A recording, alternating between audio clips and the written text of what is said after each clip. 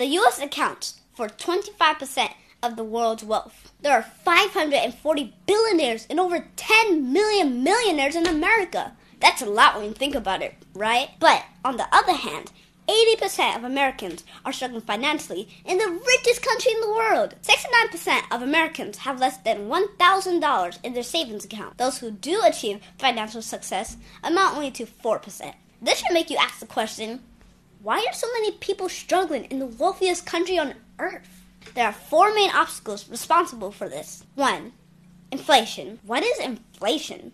Inflation is when the prices of products and services increases and the purchasing value of money decreases. Inflation increases 3% every year. This means the price of products and services we buy is 3% higher than it was a year ago.